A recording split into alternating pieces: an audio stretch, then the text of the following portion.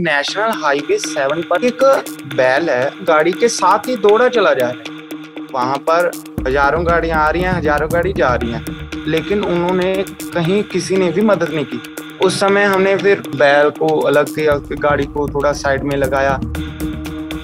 बुरा उस समय ये लगा कि लोगों ने अभी ये समझ लिया कि ये सिर्फ़ एनजीओ की ही रिस्पॉन्सिबिलिटी है।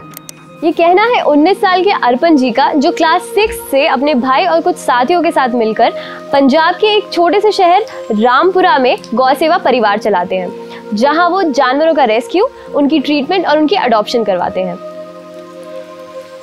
आज उनके पास 200 से भी ज़्यादा मेंबर्स की टीम है और एक हॉस्पिटल भी है और वो साल में करीबन 500 से भी ज़्यादा एनिमल्स को रेस्क्यू करते हैं। लेकिन इतना अच्छा काम करने के बावजूद भी कुछ प्रॉब्लम्स ऐसी हैं जो हर रेस्क्यूअर को फेस करनी पड़ती है। रेस्क्यू के लिए तो कॉल आ जाती है। जिस बंदे की कॉल आई होती है, वो बंदा ही नहीं आता है।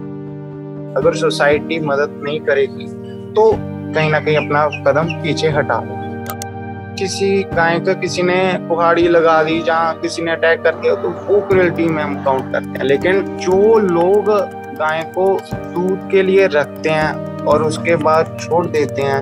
वो भी एक तरह की उस पर क्रुएल्टी ही है। चाहे छोटा है, चाहे बड़ा है, हर किस्म के इंसान के लिए तो एक ही बात है कि जो ये क्रुएल्टी हो रही है, हमसे ही हो रही है। इतनी दिक्कतों के बाद भी गौ सेवा परिवार बेजुबानों की मदद करने के लिए निरंतर प्रयास कर रहा है और वो एक एंबुलेंस भी लेना चाहते हैं ताकि वो ज़्यादा से ज़्यादा जानवरों की मदद कर सके। और इस प्रयास में आप उनकी मदद कर सकते हैं। उन्हें डोनेशंस देके या फिर इस वीडियो को शेयर करके।